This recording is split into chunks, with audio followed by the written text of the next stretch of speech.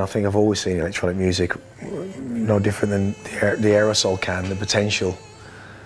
With, graffiti, graffiti in the day, you know, I saw an interview the other day, I was 17, I was on a TV program um, based in Birmingham and it was the cameraman you know, launched the, microphone for the very first time in my hand. He goes, well, what do you want to do? Well, like, I want to change things like, I want to, I want to, I want to, I want to just be seen and I want to, I want to just change it with graffiti and, and I've got a voice and I just want to do something that's different, basically. and I guess that still resonates with me now, really. And, um, you know, art, art and music are one of the same, and I think one of them has been compromised slightly. I feel that, you know, some, to some degree, I think, you know, art in its purest form as, as, as is still one of the things that you can't download. You know, you go to a gallery, you have this third party kind of issue going on, whereas you, the painting, and the space that you're in, if, if you're alone, you can, you know, it does something to you that's completely different. And, and you know, I, I get pictures all the time on social media, and I look at something and I go, yeah, cool. Uh, I look at it in real life, and the perspective completely changes. I think music, to a certain degree, especially electronic music, it still remains sleight of hand magic. Do you know what I mean? It's up to the, the, the, the producer, in fact, whoever's going to be doing that music, to, to give you this great illusion of sound coming, still coming out of two speakers. And, uh, and that's where the value of arrangement comes in. So, you know, I'm constantly, you know, what are you up to today? It's not today, it's kind of in the moment for me. All of the time, constantly still challenging myself with what art is and my belief of art. You know, whether it's the Lost Tribes collection, which I think I'm doing in, in, in September, which probably is my, greatest work I've ever done artistically, I feel.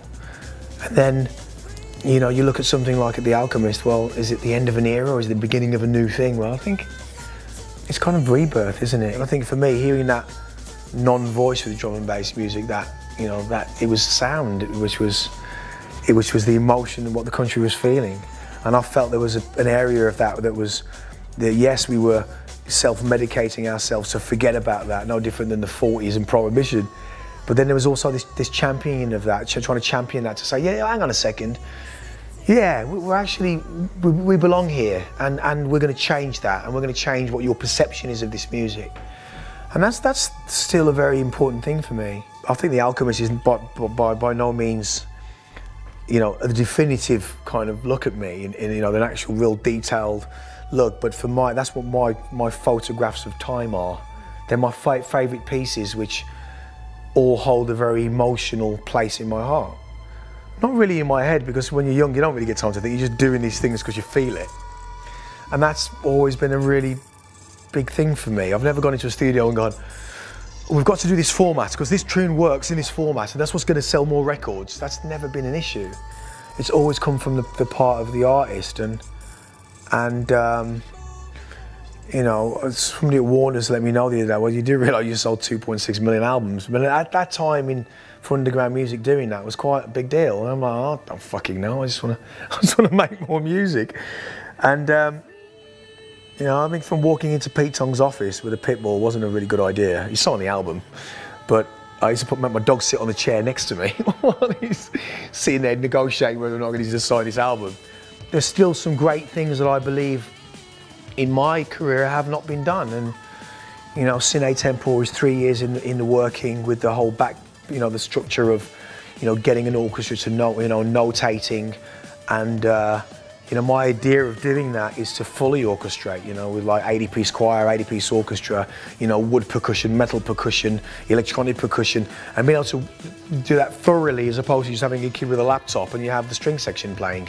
Gary Glitter's string arrangement sounds great. You can make any, any song in the world sound great if you've got the entire string section playing it.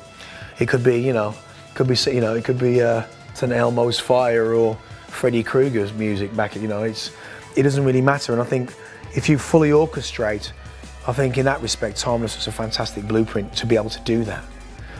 Because it crossed so many genres, it's almost as if it wasn't drum and bass because that was purely just the vehicle at the time to be able to drive the machine.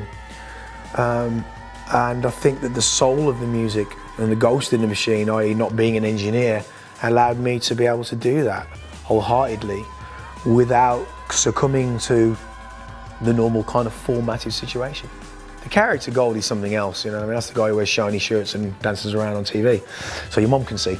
Um, um, you know, get stopped in Waitrose on a Sunday for, for doing classical music.